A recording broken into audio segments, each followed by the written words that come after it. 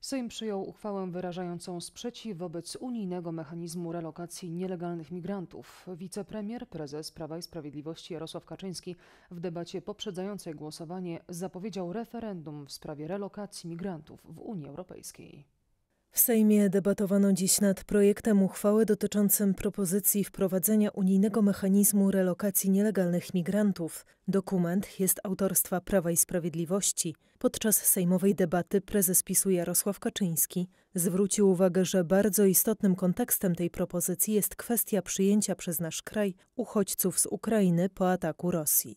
Przyjęliśmy wtedy kilka milionów uchodźców. No, można mówić, że tak na stałe to około półtora, dwóch milionów. I Gdyby to pomnożyć przez 22 tysiące euro, to będzie to suma gdzieś między 20 kilka a 30 miliardów euro.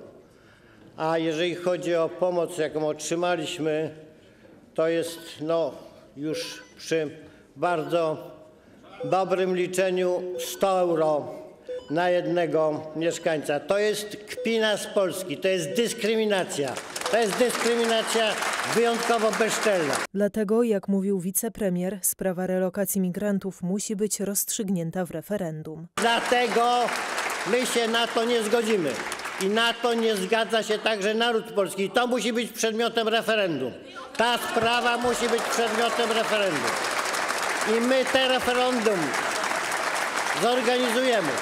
Pamiętajcie o tym. Polacy muszą się w tej sprawie wypowiedzieć. Unijni urzędnicy chcą wysłać do Polski blisko 2000 migrantów. Jeśli nie zostaną przyjęci, Bruksela na podstawie proponowanych przepisów mogłaby nałożyć na Polskę blisko 40 milionów euro kary. O tym, że przymusowa relokacja nie rozwiązuje problemu migracji, mówił także premier Mateusz Morawiecki. Zaznaczył, że narusza ona suwerenność państw członkowskich.